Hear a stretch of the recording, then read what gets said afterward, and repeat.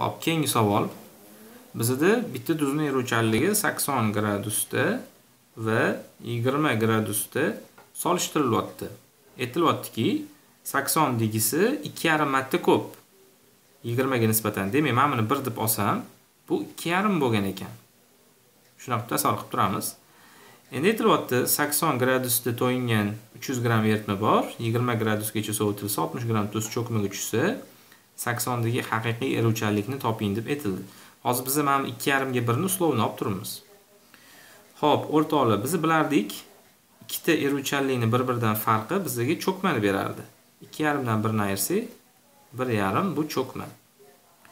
Xo'p, proporsiya tuzib olamiz. Proporsiya tuzamiz. Qanaqa bo'ladi proporsiyamiz? Bizda aytildi 80 gradusdagi to'yingan eritma, to'g'rimi? 80 gradusdagi to'yingan eritmamiz, hozir ishlatamiz uni. Aytilyaptiki 300 e, gram 300 gram to'yingan eritma bo'lganida bizada cho'kma tushdi 60 gram cho'kma. Bu masalani sharti bo'yicha. Endi bizada hozir mana uslovni olganimizda 1,5 bo'lsa bu to'yingan eritmaga qancha bo'ladi? Buni topamiz. Demak 1,5 ni ko'paytirar ekanmiz 60 ga bu chiqar ekan 7,5 to'yingan eritma 80 gradusdagi.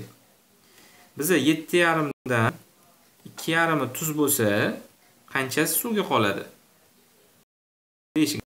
Bu suv bo'ldi. Xo'p, eruvchanlikni topdi. Eruvchanlik necha gram suvga nisbatan olinadi? 100 gram suvga nisbatan 100 gram bo'lganida bu qanchaga to'g'ri keladi proporsiya qildik. Ko'rinib turibdi, demak 5 bilan 2,5 bu yarmi degani. Demek 100'ün yarımı 50. Demek cevabımız 50 bo'lar ekan. Bu savol 2015da tushgan va yana qaytadan 2020da ham kelgan.